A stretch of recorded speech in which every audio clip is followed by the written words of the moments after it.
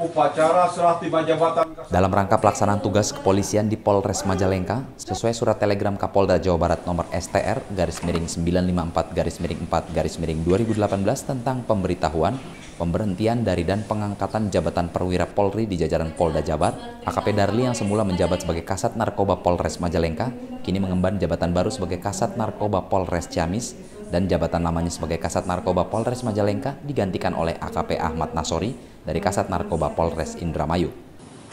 Apakah saudara bersedia untuk Prosesi sertijab ini turut disaksikan oleh para kabak, kasat, kapolsek jajaran dan para perwira, serta ibu-ibu bayangkari Polres Majalengka.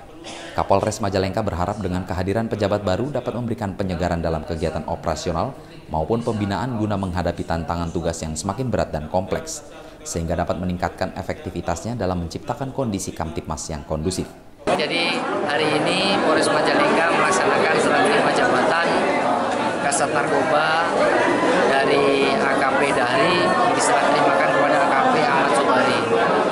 Dalam kegiatan mutasi ini tidak ada hal yang prinsip, hanya penyegaran biasa karena dari AKP Dahri pindah ke Polres Ciamis juga menjadi Kasat Narkoba. Sementara yang masuk juga dari Kasat Narkoba Polres Indramayu.